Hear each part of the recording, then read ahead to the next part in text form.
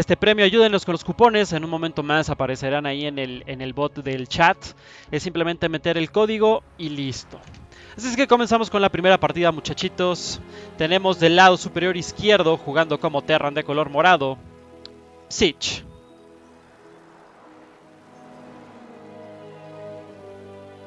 Y del lado inferior derecho, jugando como Protos de color amarillo, él es... Chlorine.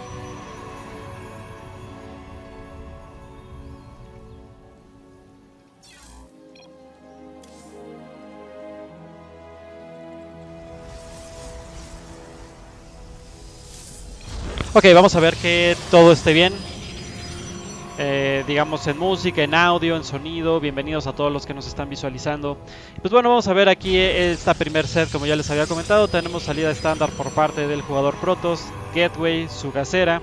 Y por parte del jugador Psich, tenemos su barraca, su gasera, también todo totalmente estándar.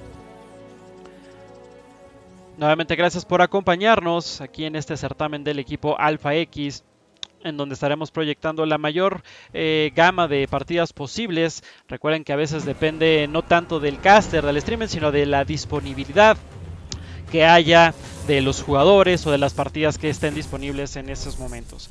Así es que bueno, el objetivo era agarrar eh, primero a los jugadores latinoamericanos, pero bueno, ya ya estaban dentro de lobbies, así es que pues la única partida digamos disponible en este momento es de estos dos jugadores que estamos viendo en pantalla.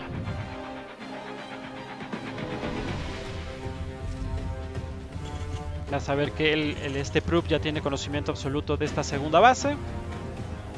Todo lo que tiene que hacer un Protoss. Y pues bueno, recordando que han sido bastante épicas también las partidas que hemos visualizado en este certamen de Alpha MVP en la edición de agosto y de julio. Que bueno, realmente si a mí me preguntan, la, mejor partida que yo, que yo me quedo ha sido sin duda alguna la de Dinamita de Corea en contra del señor Art de Europa. Así es que eh, ese Terran contra Protoss fue bastante épico. De hecho, justamente estamos viendo Terran contra Protoss. Así es que posiblemente pudiéramos ver un set bastante interesante.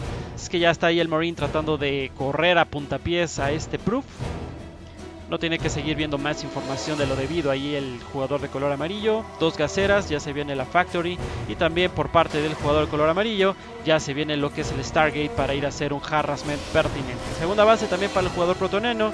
El Reaper ahí ya también tomó eh, la información necesaria. Y pues bueno, todo lo clásico hasta este momento. Ahí ese Reaper simplemente haciendo algo de presencia, Mella, llevándose ahí ya dos trabajadores. Pero ya llegó la Adepta ahí a poner orden. Tres trabajadores en este momento. Pero ese Reaper también se murió en el intento. Así es que bastante bien muchachos. Bastante bien. Vamos a ver si el jugador terráneo tuvo conocimiento del Stargate. No, no tuvo conocimiento de Stargate. Así es que eso es como un punto a favor del Protoss, ya que se viene ese Oracle. El Oracle, eh, dado lo que hemos visto ya inclusive en la temporada pasada, suele, suele hacer bailar un poco al enemigo Terran. Así es que eso es simplemente para ganar algo de tiempo, llevarse dos, máximo tres trabajadores y así se lo permiten. Pero también, también depende de la defensa que pueda mostrar el jugador de color morado. Háblenle a sus amigos, compartan el stream para que de alguna manera seamos más aquí presentes en este certamen y podamos eh, comentar sobre estas partidas de alto nivel, recordando que son grandes maestros de Alpha X, tanto de la escuadra latinoamericana como de la escuadra, digamos, estadounidense y europea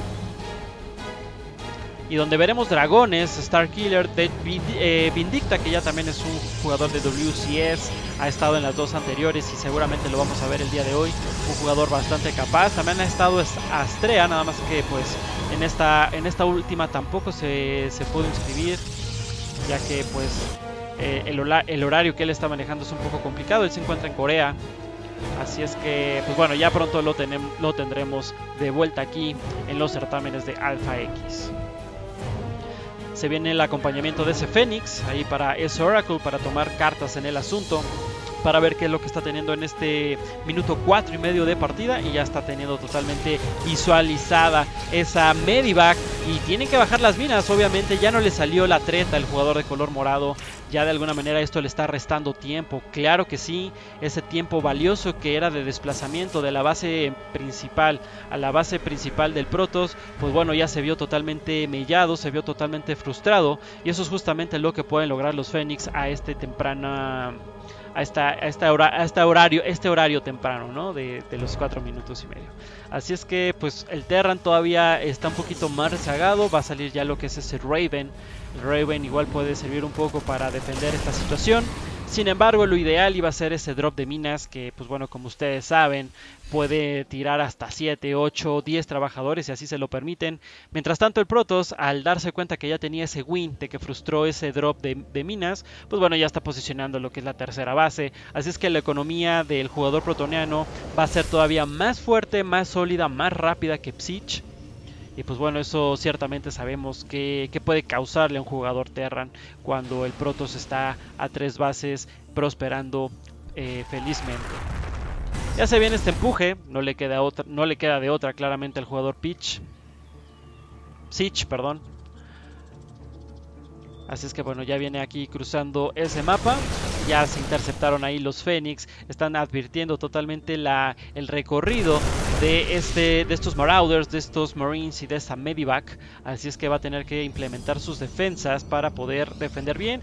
Defendiendo esto bien y ya prosperando en esta tercera base, pues bueno, obviamente ya nos estaría hablando de una ventaja totalmente absoluta. Estima hacia adelante, muy bien. Ahí puede deducir que había una trampa de Stasis. Solamente queda un Marine atrapado. Y se viene ahora sí toda la fuerza Así es que vamos a ver ahí. Buen... ¡Ay! Pero también fue súper efectivo, mi hermano. Vean nada más.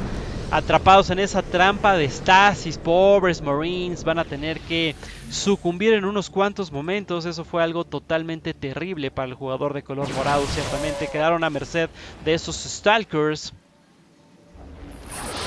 Y pues bueno, ahí bajándole también lo que fuera la defensa a los Stalkers. Pero pues bueno, ciertamente aquí con esa estima hacia adelante, pues bueno, está tratando de defenderse, pero la cantidad simplemente es mayor del jugador de color amarillo y ha dejado totalmente fuera de combate a las unidades del jugador morado. Así es que esto nos deja 38 de Army en contra de 30, igual todavía ligera ventaja por parte del señor Chlorine.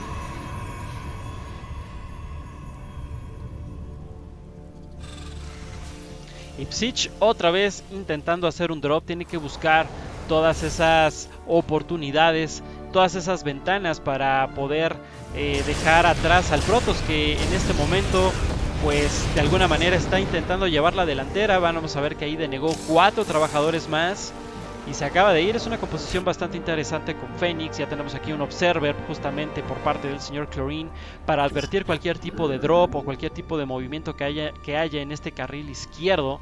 Ya se viene también la lanza térmica por parte de los colosos. Así es que eso va a ser bastante productivo y necesario para el jugador de color amarillo para seguir manteniendo a raya en esa defensa tan interesante que ha mostrado. Sin embargo, ya está llegando aquí este drop. Le está diciendo hola mi querido Chlorine. Así es que estima hacia adelante, Marauders y Marines trabajando en sinergia, ahí apagando una gateway, llevándose tres trabajadores, pero ya llegó a la defensa, bastante choncha ahí por parte del jugador color amarillo, por la parte aérea con esos Fénix para denegar las Medivacs y los Stalkers para borrar cualquier tipo de ejército en la tierra. Así es que muy muy buena defensa, pero sin embargo ya también había aquí un ataque bastante fuerte aquí en la tercera base que se llevó cinco trabajadores y, y, obligó el recall a esta tercera base. Así es que muy oportuno muy rápido. Esto nos está dejando 61 workers contra 56 ligera ventaja para el jugador amarillo. Y en cuestión army para el jugador terráneo 61 a 50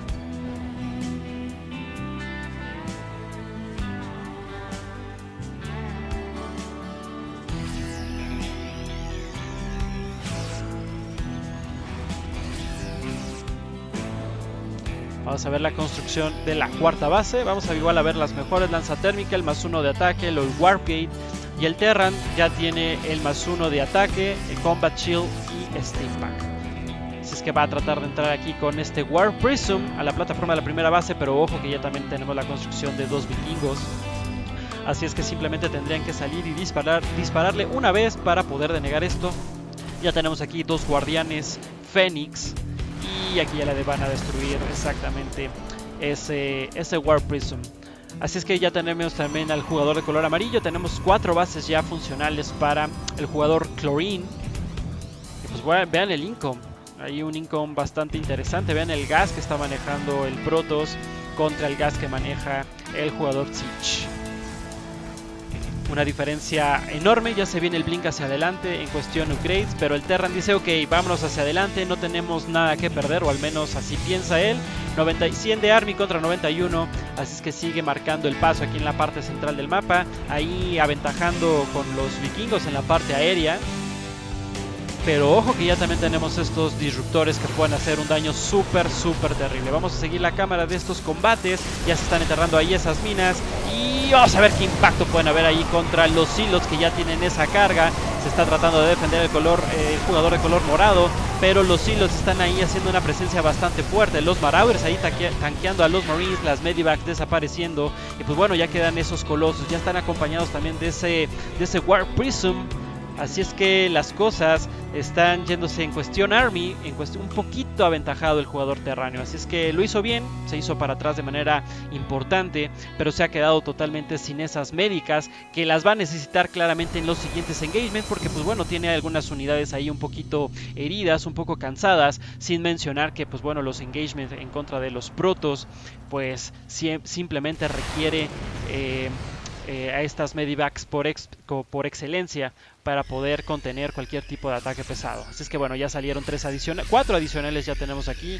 Ya el jugador de color morado se ha restablecido eh, respecto al engagement que tuvo eh, hace unos segundos atrás. Ya viene la arremetida por parte del jugador de color amarillo, así es que es una composición bastante fuerte. Tiene arcontes, tiene stalkers, tiene silos, tiene un disruptor y pues bueno, tiene dos colosos. Eso obviamente va a hacer las cosas muy complicadas teniendo en cuenta que las mejoras ya están totalmente disponibles para el Protoss que es el más 2 de ataque, el Bing hacia adelante, el Charge y el, la lanza térmica versus el, más 2 de ataque que no está mal del Terran, más 1 de defensa, Combat Shield y también por supuesto lo que es el Steam. Steam hacia adelante y uy uy uy, ese disruptor hizo contacto ahí destruyendo bastantes unidades del jugador color morado. Ahí tenemos un liberador, pero pues bueno, realmente no hizo nada en lo absoluto. Ahí se hace el micro de los dioses. Ahí por parte de los jugadores. Está regalando los disruptores, mi hermano. El Protoss regaló los dos disruptores. Y pues bueno, ya tenemos aquí otros, eh, otras unidades gracias a ese War Prism. Tiene que tener muchísimo cuidado el jugador de color amarillo, ya que bueno, tiene la ventaja 100 contra 85, pero tal parece juzgando por lo que hemos visto, pues el Terran sabe muy bien hacer las cosas en cuestión defensiva. Si es que va a intentar por otra ventana, claro que sí, el jugador protoniano dice ok, si no puedo colocarme bien en, esta, en la ventana del lado superior, pues bueno, venimos a la tercera base donde está habiendo una gama impresionante de muertes, 16, 19, 21 y vamos a ver que se llevó 21 y ahí también tenemos una resistencia muy pero muy fuerte por parte del Protoss. Vean nada más que esos silos no van a perdonar nada, ¿eh?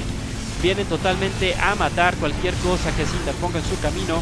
Y esto nos está dejando 123 de Army contra 104. Ya se está haciendo presente. Estima hacia adelante. Quieren destruir todo eso. Ahí los colosos atacando a diestra y siniestra. Tenemos a los disruptores ahí atentos para atacar. Cuatro Liberators ahí haciendo una defensa impresionante. Impresionante sin duda alguna. Así es que esto está haciendo una partida bastante chévere, bastante épica. Y pues bueno, ya son cinco bases las que está manejando el jugador Chlorine contra solamente tres que tiene el jugador Siege en su poder. Vamos a ver que ya viene ese prisma por el carril superior derecho. Pero ya tenemos ahí un vikingo también ciertamente haciendo la parte defensiva. Nuevo engagement aquí en esta tercera base ya. Esto se le está poniendo bastante complicado al jugador Terran que decide tirar el GG. Así es que vamos 1-0 a favor de Chlorine.